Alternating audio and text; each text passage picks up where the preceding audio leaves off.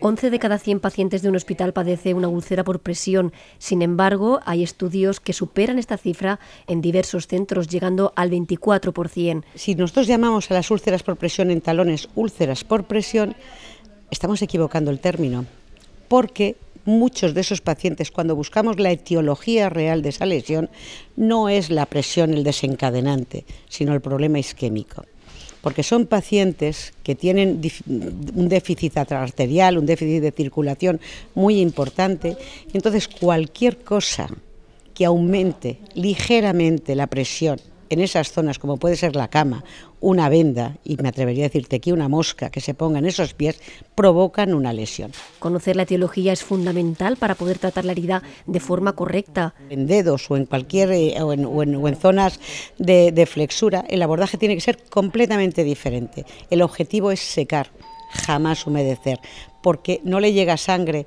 entonces jamás vamos a poder epitelizar una zona a la que no le llega sangre. Por eso el abordaje tiene que ser completamente diferente.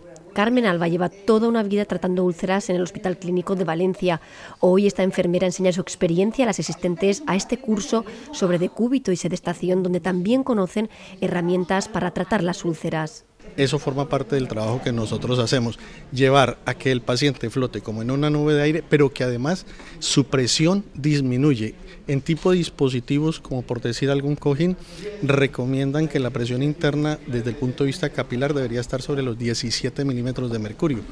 Nosotros estamos sobre 12 milímetros de mercurio, o sea, muy por debajo, y logramos que el paciente realmente flote dispositivos de aire no monitorizado que demuestran su funcionalidad en los hospitales donde se han implantado. El objetivo es que aquellas personas que en un momento dado tengan que estar mucho tiempo en, sedestación, logremos aliviarle la presión. Al aliviarle la presión le estamos aliviando un dolor que se genere por presión, es decir, la misma úlcera por presión.